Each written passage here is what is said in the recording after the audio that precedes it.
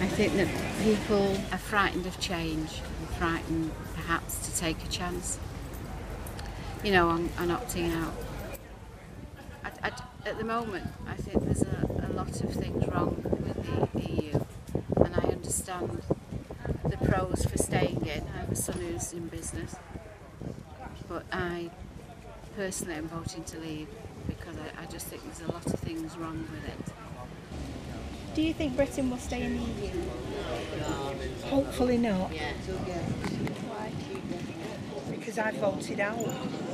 Yeah, so I want to be out. Why do you want to be out? Because I think we'll be better for it. Do you think Britain will stay in the EU? I think it will. And do you think Salford itself will be better or worse off in the EU? I think if Britain walks out of the EU tomorrow, it's going to cause all sorts of chaos in terms of trade. The prices will go up, I think. Uh, all the duties and uh, taxes and etc. So it's not just Salford.